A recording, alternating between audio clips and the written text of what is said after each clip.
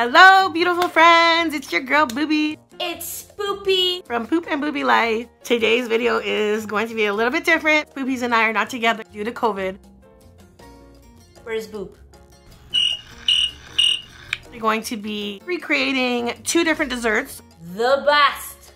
The best dessert that we found called Shraim's Sweets, and that's located at 233 Horton Street East in London, Ontario, Canada, which is where we are from. And honestly, this place looked awesome, but the food was so good, guys. We highly recommend it. So as you guys will see, we went to the place that we found. Everything was so magical and chocolate melting and like a waterfall, but with chocolate. And me and Boobie, we bought, of course, different desserts. She had sushi crepes. And I ordered a waffle sundae. Oh my gosh, so good. I'm just gonna warn you now. I know mine did not turn out exactly like the original dessert I got from the store, but Poopies, it is such a mess. Like you wouldn't even be able to tell it was a dessert. You would maybe think that it had fallen on the floor and then someone scraped it up and put it back on the plate. No, I'm just joking, but it, guys, I mean, it, I'm sure it still tasted good, but it looks so awful. Just don't expect anything great, okay?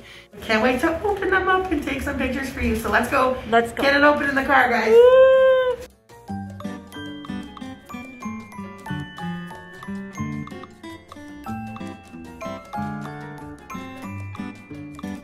So sushi, roll, chocolate, fruit, uh, sushi. Yay! Hi friends. So let's start. You're just gonna need... Any fruit you have at home.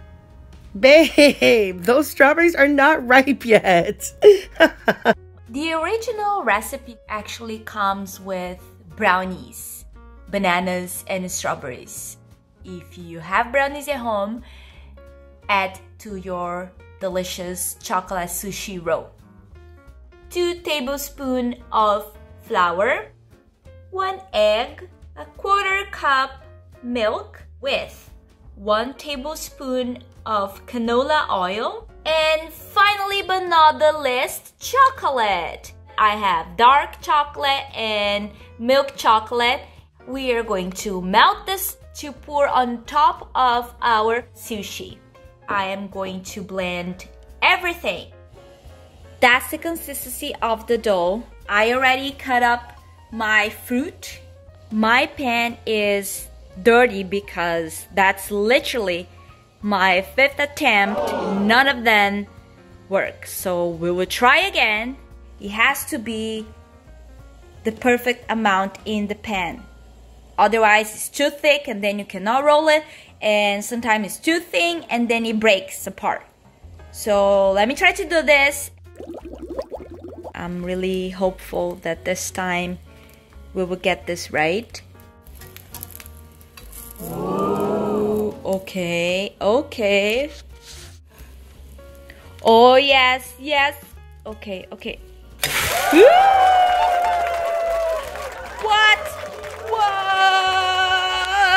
It worked. I am so happy. So finally, here is our dough. You guys can see. Look how gorgeous, how beautiful. And now, the fruit, just throw here.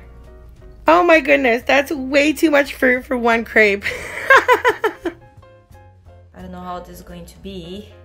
I do. Um, well, probably the same as when I do sushi, right? No, yeah. Poopies! okay, we can do it. Yes, yes.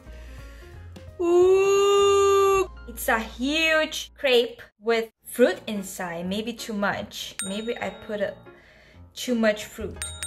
We have to cut now. Ooh. Okay, it definitely not perfect, but um, this one looks pretty good. Um. well, it doesn't look that bad. Aw, it's not bad, guys. Probably that doesn't look that good, but I'm sure it is. And It's ugly but delicious, man. Ugly delicious. I love you, poopies. All right, guys, so let me remind you, this is what the dessert should look like, and this is what poopies made. Just beautiful.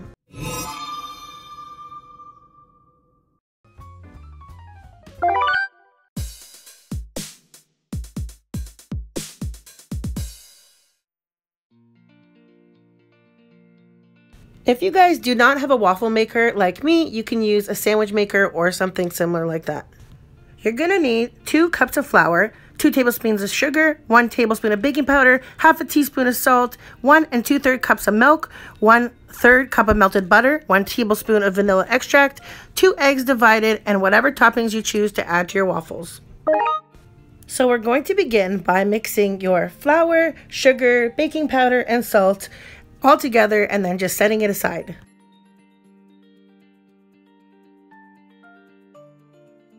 Next, you're going to separate your egg whites from the yolk and then you're going to beat the egg whites with a mixer on high speed until stiff peaks form.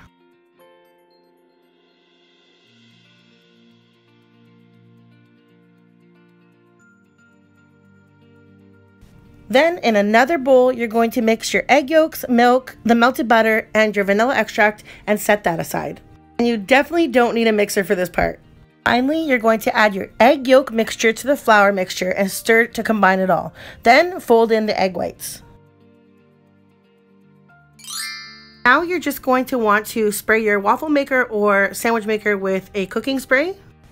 Finally, just drop large spoonfuls of your waffle mixture onto your greased waffle iron or sandwich maker in my case.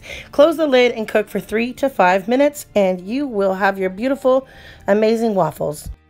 Guys, these are the best, fluffiest, most delicious waffles I've ever tasted in my life. So I would highly recommend trying this recipe. And the last step is basically take your melted chocolate. I have white macadamia nut and milk chocolate. Melt it, decorate your entire waffle, as much chocolate as you want. I added strawberries because that was what my recipe included as well. Plus I love strawberries. And then I also put some shaved chocolate. This is blonde chocolate, it's amazing. Um, shaved it on top of the waffle. It is so delicious, guys. All right, moment of truth. This was my original waffle that I got at the store and mine turned out like this.